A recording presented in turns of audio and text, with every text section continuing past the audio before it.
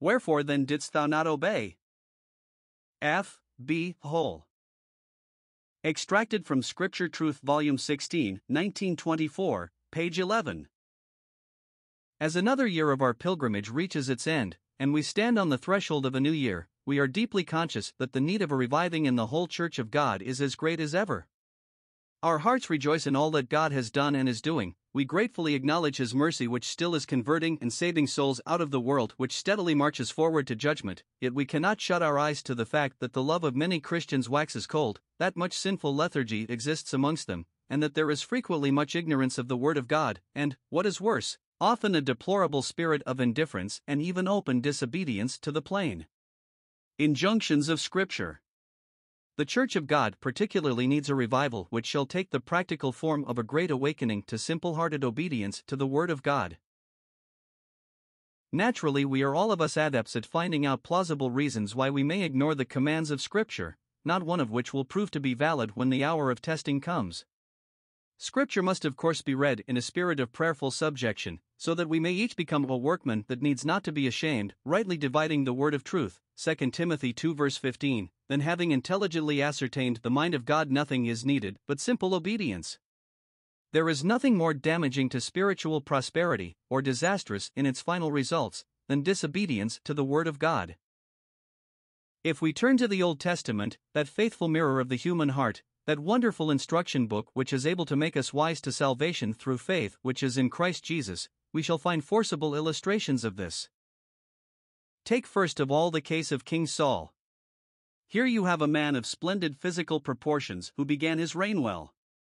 Elevated to the throne quite suddenly, he displayed both modesty and generosity in no small degree in the opening months, and yet only two years of his reign had passed before we find him a rejected man. Why was this? The answer is in one word disobedience.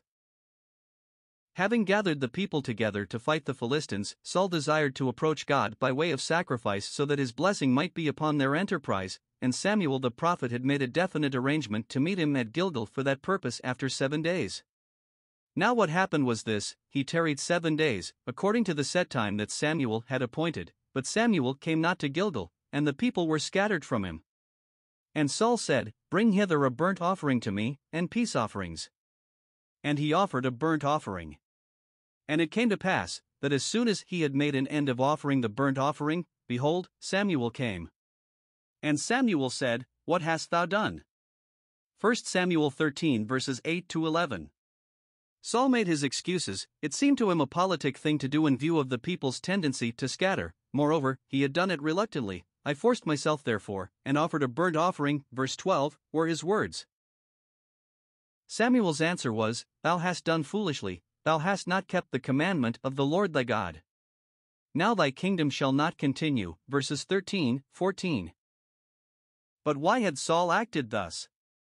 What had possessed him? Did he say within his heart something like this, after all, that seven day appointment was only an arrangement that Samuel made, he may have forgotten it, or he may have been mistaken? Perhaps he did. But stay. Samuel's arrangement was not everything. Long before his day, just such a contingency had been anticipated, and the divine instructions were Thou shalt come to the judge that shall be in those days, thou shalt not decline from the sentence which they shall show thee, to the right hand, nor to the left. Deuteronomy 17 verses 8 to 12.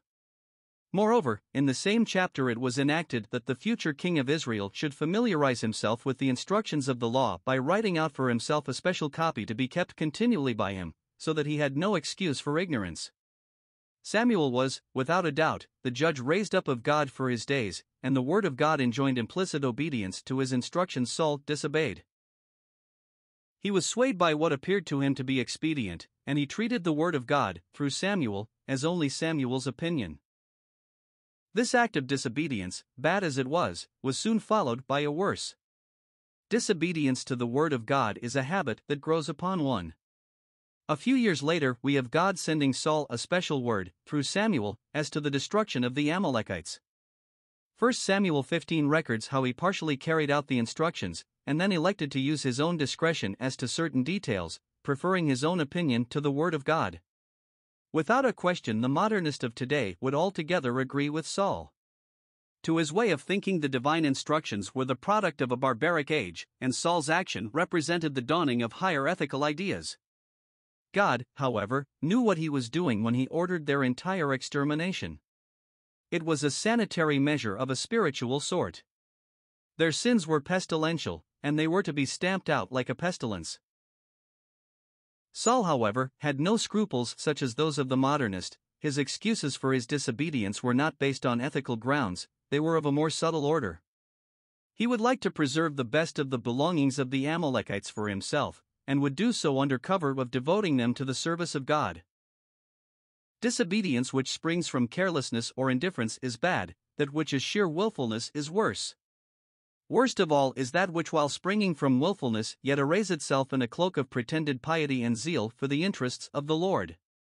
It was that of which Saul was now guilty, and hence the strong and drastic way in which God met it through the lips of Samuel, saying, Wherefore then didst thou not obey the voice of the Lord? Behold, to obey is better than sacrifice, and to hearken than the fat of rams. For rebellion is as the sin of witchcraft, and stubbornness is as iniquity and idolatry. Because thou hast rejected the word of the Lord, he has also rejected thee from being king. 1 Samuel 15 verses 19 to 23.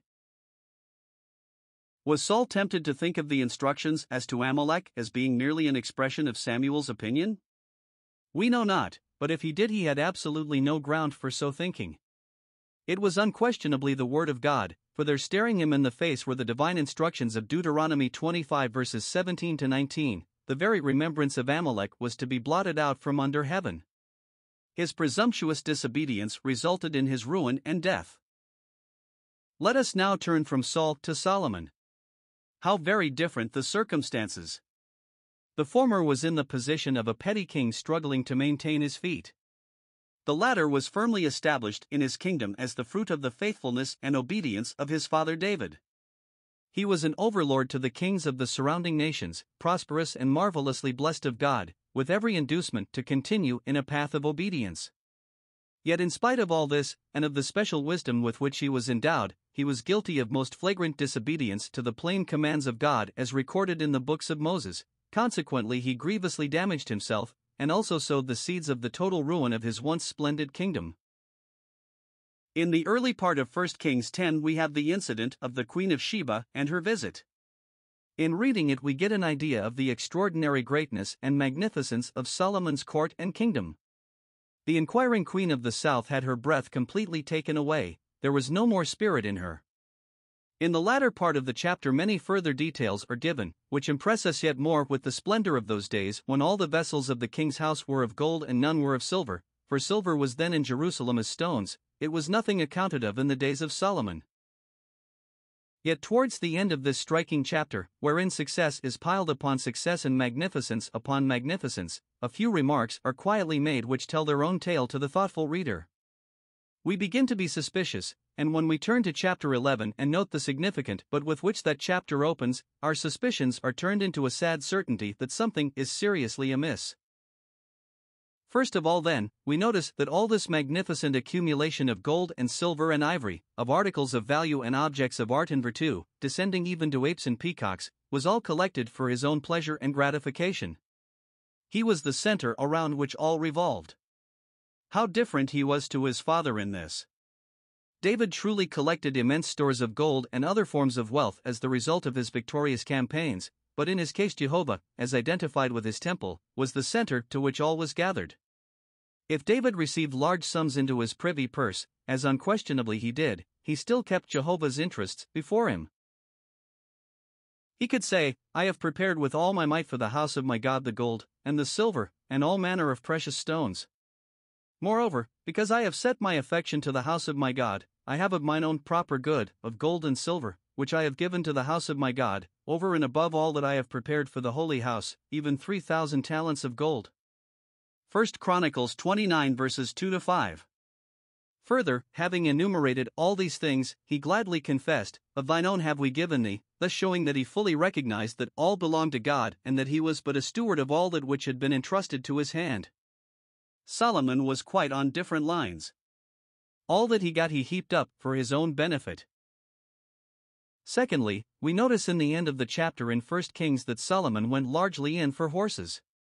He gathered together chariots and horsemen, and he had a thousand and four hundred chariots, and twelve thousand horsemen. This is emphasized by repetition a couple of verses further on, where it is said, And Solomon had horses brought out of Egypt.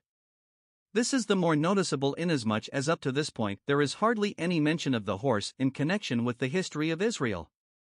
The ass we often read of, and also the mule, Absalom, the son of David, the king, only rode upon a mule, it will be remembered, and the ox seems to have been the beast of burden.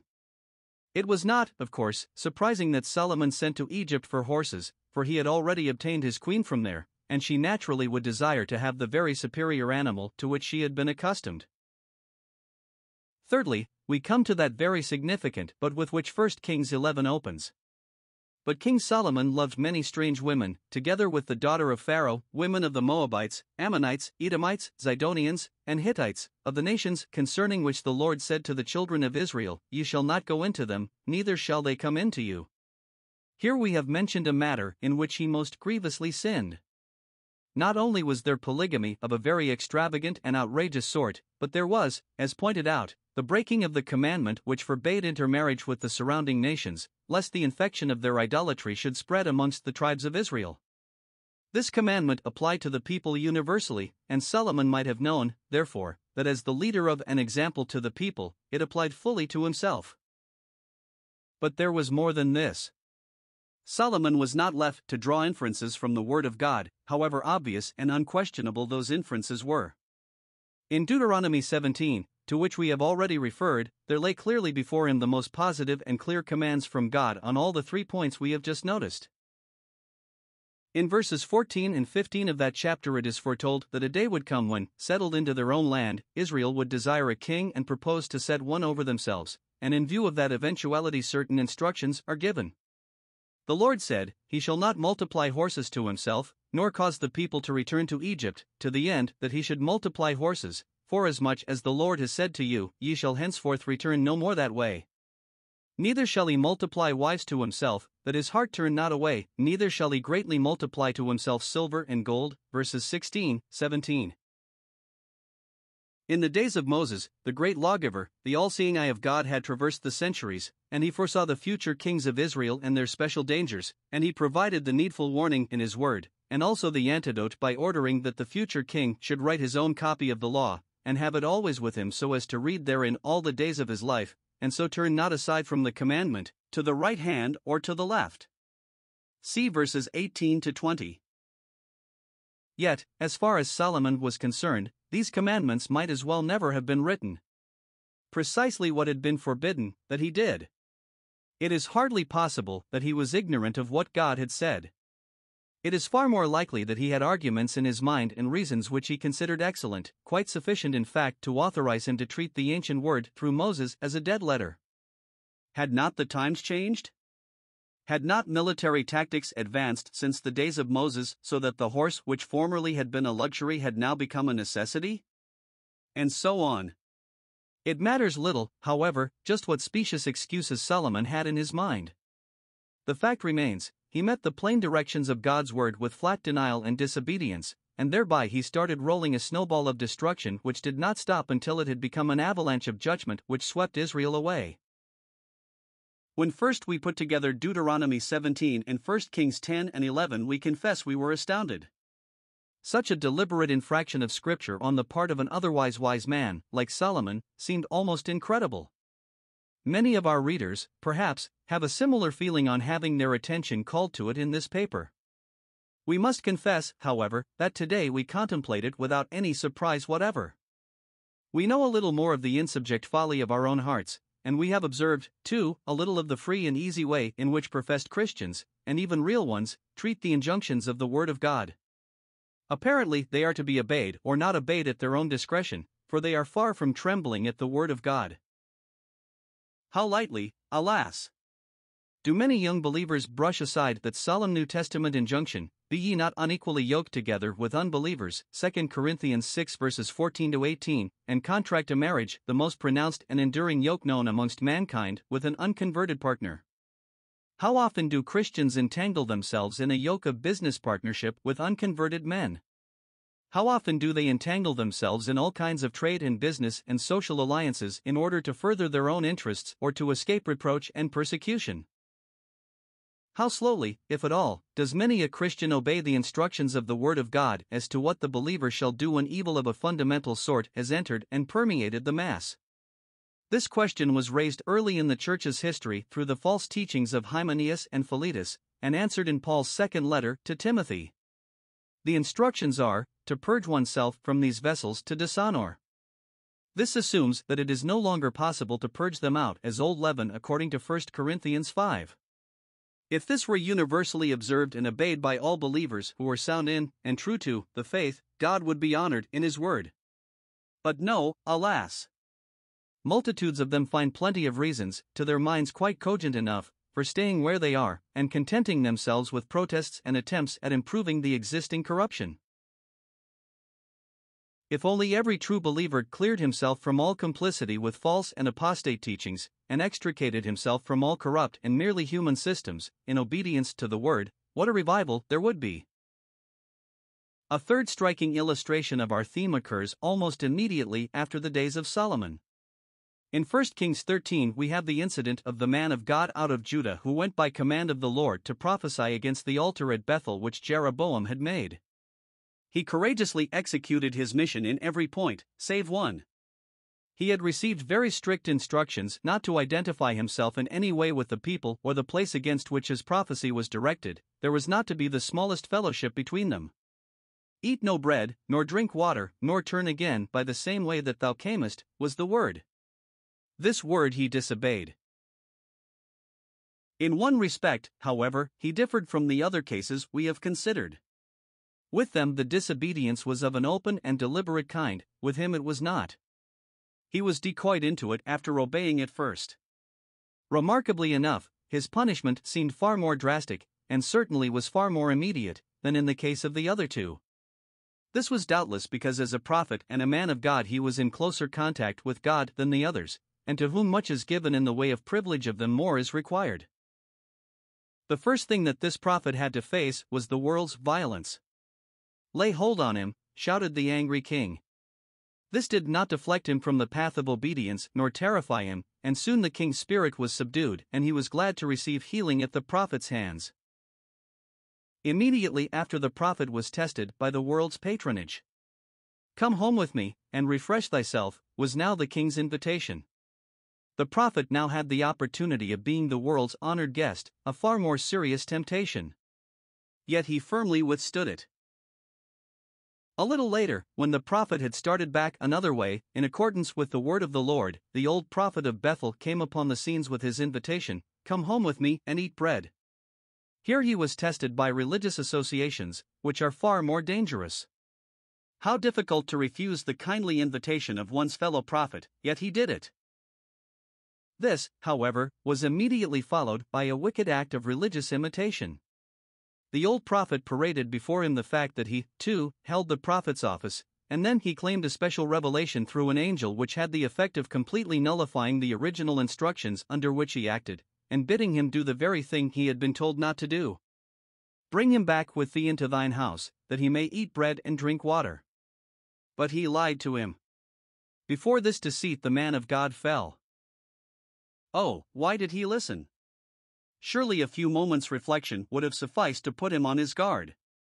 Does God usually fail to foresee the end from the beginning, and consequently have to countermand his instructions before his enterprises are finished?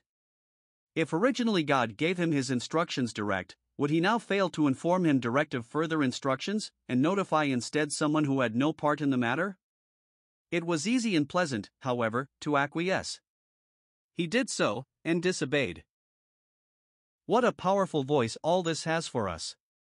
The servant of God today may on occasions be called to go into strange places to render a word of testimony to his Lord, and thus find himself in unusual surroundings, yet he must be very careful as to his associations, and see that he fulfills the divine word, have no fellowship with the unfruitful works of darkness, but rather reprove them. Ephesians 5 verse 11. To have fellowship is to become compromised oneself. To entangle us, the adversary will spare no devices. If one does not succeed, he will try another, as we see in the case of the man of God. Some of us fall easily before the frowns of the world, or its smiles, others are not so easily caught, and religious enticements are brought into play. It is a sad reflection that for this dirty work no tool comes so readily to the devil's hand as a false professor of religion or a true child of God terribly backslidden. The old prophet of Bethel may have been one or the other, which we cannot determine. The sum of the whole matter is this there is nothing so good and safe and pleasing to God as full and unquestioning obedience to His word. All necessary instructions for the man of God are found in it, as 2 Timothy 3 verses 16 to 17 affirms, therefore we may disobey by going beyond it, just as we may by falling short of it. We may easily become a little fanciful and think we are maintaining the testimony, or honoring the Lord, when we are only straining at gnats, to end by swallowing the camel of definite disobedience to what the Word of God does most plainly say. Let us then accept the Old Testament warnings with searchings of heart, and so be made wise to salvation from the sin of disobedience to the Word of God. The Lord has said, To this man will I look, even to him that is poor and of a contrite spirit, and trembles at my word. Isaiah 66 verse 2.